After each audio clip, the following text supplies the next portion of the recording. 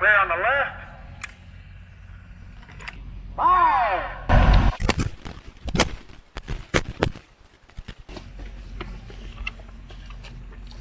Nice.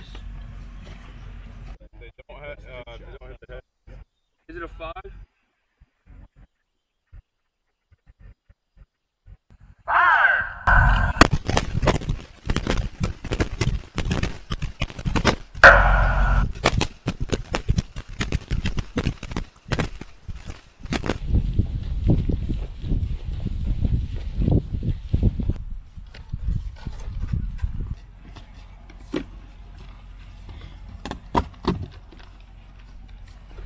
Targets two, three, and four with two shots each in five seconds. Fire!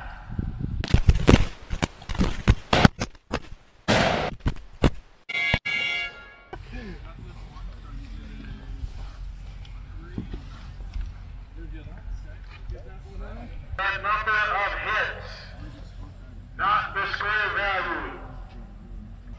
You're gonna hate yourself for this one. Your two misses on your headshots are the ones you got your fives. and then all fives and fours.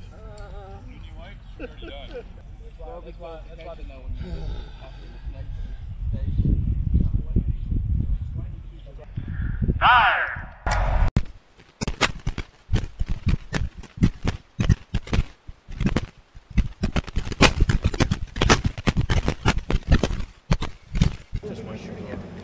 Uh, Marksman National Guard is important because we need to take all the extra time we can to build those disciplines, the muscle memory, uh, the traditions of marksmanship for a lethality purpose, so that when we deploy, we can be more combat effective and lethal to the enemy. Oh man, for networking, this is so great because all these uh, different states get different teams together. We always come together and learn something new from another state that we can take back and incorporate into our own marksmanship programs and just continue to grow our programs across the states. So I've been to our MAC 3 regional twice. I've been here at WPW. I think this is my fourth time. Um, I believe that marksmanship to the National Guard is important because it's kind of an overlooked skill of soldiering. It's something that we spend probably the least amount of time doing. If you look at all of our training tasks that we complete in a year, uh, shooting is probably on a back burner, and sometimes, unfortunately, due to all the other things that we have to do, can kind of just be a check in the box. Uh, I believe that coming to these competitions like the WPW, tag matches, local matches, regional matches, it kind of gives you an opportunity to kind of fine fine tune and hone in the the skills that it takes to competently, you know, employ your either your rifle or your pistol. Uh, so when we came down in December, Aaron and myself both had, I think, out of school, a combined total of less than one year of experience.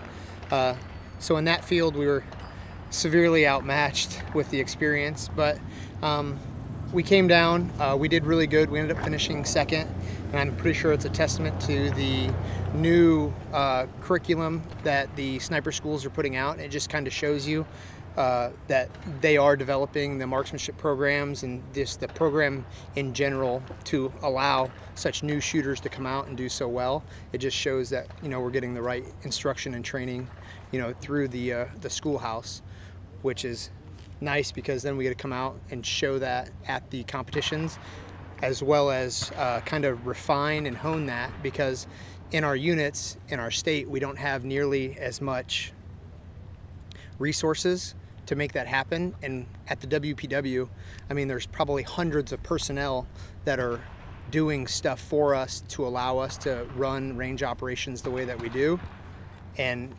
at a state level or even our section levels, it would never happen. So without the WPW, you know, the Winston P. Wilson doing things for us, we wouldn't get that training.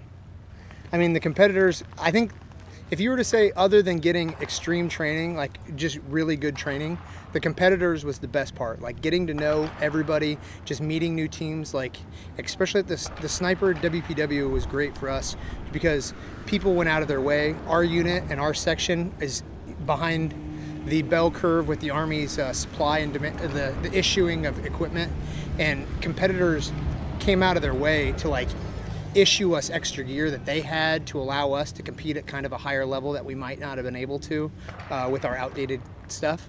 So it was just awesome to see people like willing to give you stuff for you to shoot better even though that you were the competition because everybody understands that the end goal is to increase lethality across you know america's army especially with the snipers